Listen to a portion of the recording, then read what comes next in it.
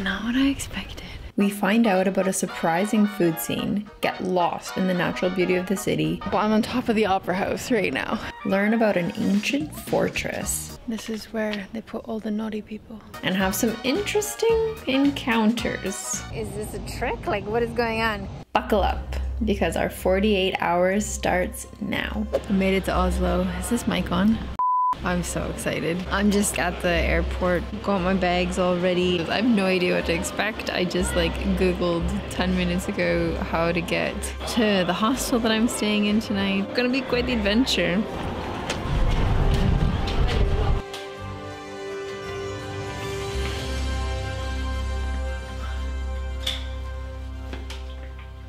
Okay, it's not that bad.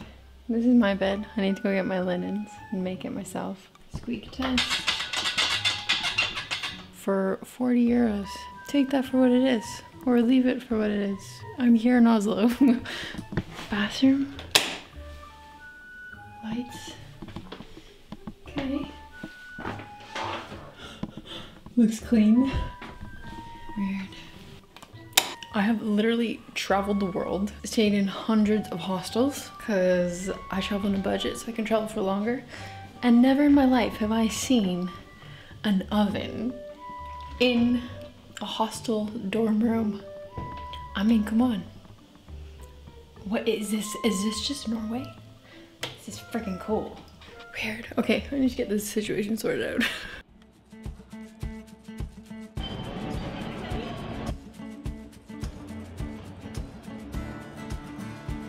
This place is alive.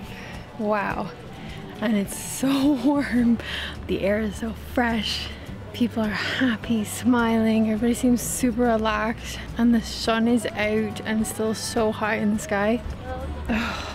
yeah, it's so warm. Oh my gosh. And it's so practical as well. For example, I'm on top of the opera house right now. So why not build a building where people can actually use it functionally, not just what's inside, but also just walking up.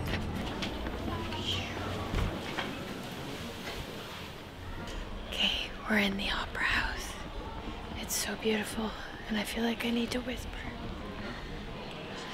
Nothing less than magnificent.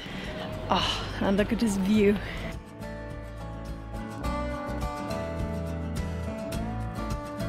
Any smells that I do smell, it's either food or saunas. I promised myself that if I successfully climbed the highest peak in Norway, then I would try out one of these floating saunas. Spoiler alert, I wasn't able to. You'll see why in the coming videos. So I just came out of the opera house. and I saw a man sitting down with a camera like mine, talking to the camera. So I just ended up having a chat with him. And uh, he also has a YouTube channel. And he asked, What is time? He's like, I'm not sure if people would find that question interesting. And I said, I think people would, especially if you have curious people watching, you know? If I asked you that question, what is time? What is life? Or what is adventure? How would you respond? Deep? Too deep? Or just perfect? Let me know. I'm curious now. Good morning from Oslo, Norway. Still can't believe I'm here. I'm kind of hoping that I can just wander around and see if I can find some cool shit, just like I did in Stockholm. I am going to try and paint one of these. I went for a nice little morning run this morning. It was lovely. So now I'm ready to explore.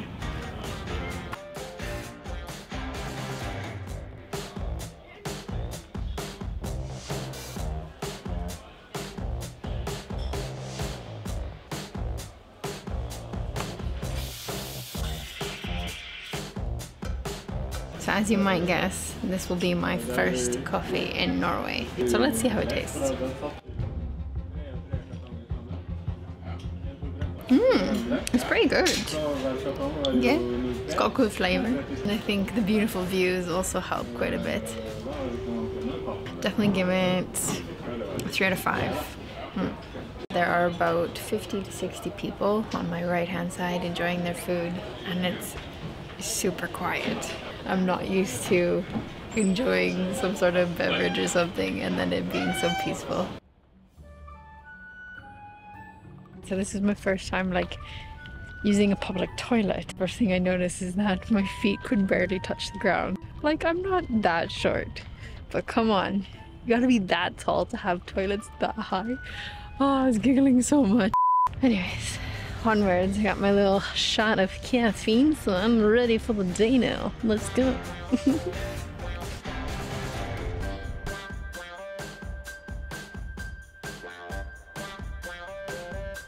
On my one side, a massive cruise ship. On the other side, a wicked fortress. Looks like you can go inside. Should we go in? Yeah, why not?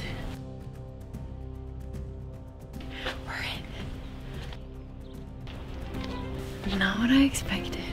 Here we are. We're in Akershus Fortress. I'm probably butchering the name. I don't know how to pronounce anything in Norwegian. I actually, I learned something yesterday. Nystekt. I think that means pastry. Because I had a coffee and a pastry to keep me going until dinner time. Seriously though, Akershus Fortress was built in the 13th century and has since worn many hats, from military stronghold to royal residence for the king. It fought off Swedish attempts at seizing the city. This is where they put all the naughty people. It became a prison known as Death's Waiting Room in World War II. And now, it's a museum with great views. This looks like the main square of the fortress. I was actually super duper curious because on some of the walls I noticed that there are numbers. On this one you see 1638 and I was kind of like huh could this have something to do with a clock or something and I just went in and I asked and they told me that's actually when this part or this wing was built. So apparently if you walk throughout the fortress and you see these numbers, it's kind of like he said, it's a little bit of a cheat sheet when you're doing a guided tour that you can know which time period each section is from because they've had to reconstruct it obviously, but there you go. And you never know if you don't ask, right?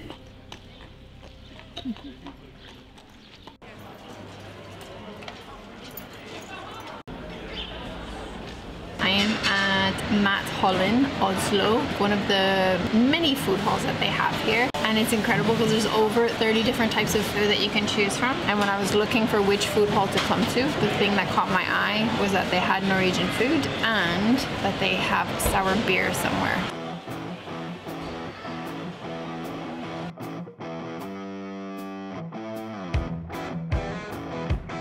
So I went for something that I feel like could be Norwegian. I'm not really sure. It's a fish burger. smells so good. It looks really fresh.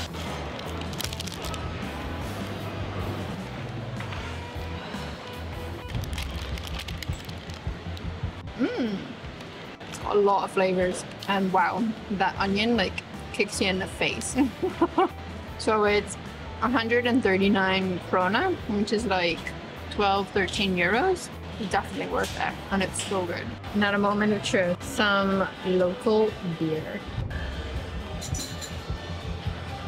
Ooh, super refreshing. Not very hoppy. I'm not a very hoppy person anyway. I'm very happy, but not hoppy. Oh god. Sorry, everybody. This will probably be my first and last beer in Norway. This is uh, 11 euro. But hey, the vibe's cool. It's cool to watch people. I love people watching.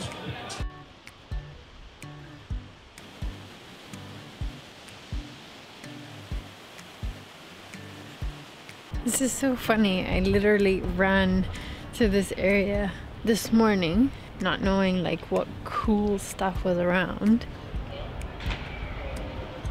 Okay, come on, do you see what I see?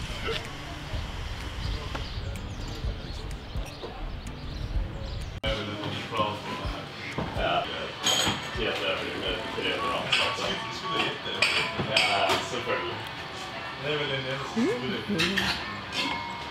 got fruity notes. Tastes like real fresh coffee.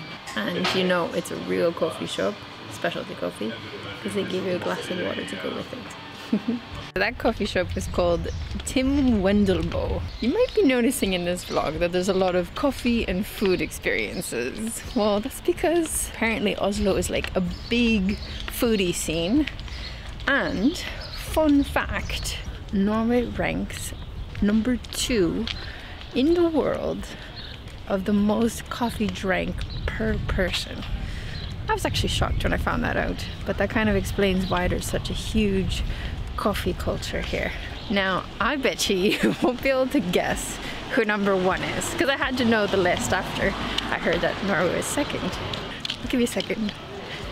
Finland, which is also interesting because they are the happiest country in the world. Are these two things correlated? I don't know. Probably not, but possibly. And if you continue looking at the list, you'll see that the top 10, except for Canada, are all the richest countries in Europe. Super weird. Are these things correlated? Again, I don't know. This would be a really cool research study to do.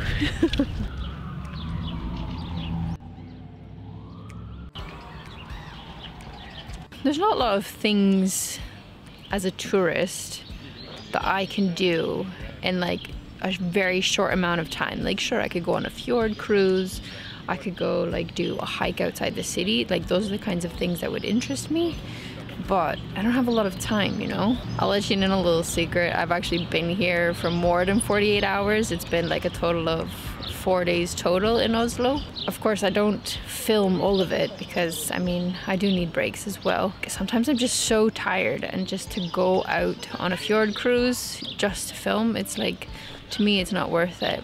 If I was to recommend a fjord cruise to anybody, I would say choose one near Bergen instead. But I did do something amazing that I haven't done in, I feel like years actually. I just went to a bookstore and I got three books 21 Lessons for the 21st Century, Psychology of Money, The Subtle Art of Not Giving. And anyways, I just passed a bookstore and it said three for two for English books. And I was like, hell yeah. This is an investment.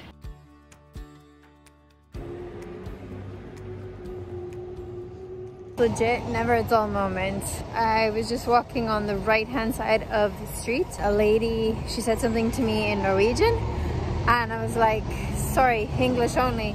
And then she said, excuse me, other side, please. And I kind of like looked at her I was like, is this a trick? Like, what is going on? And then I did cross the street and I can see that she was basically helping me because on the one side of the street there's a bunch of people doing a bunch of shenanigans. When I say shenanigans, I'm sure you can figure out what I mean by that, but never a dull moment, is it? Crossing the street now. Next stop, Bergen.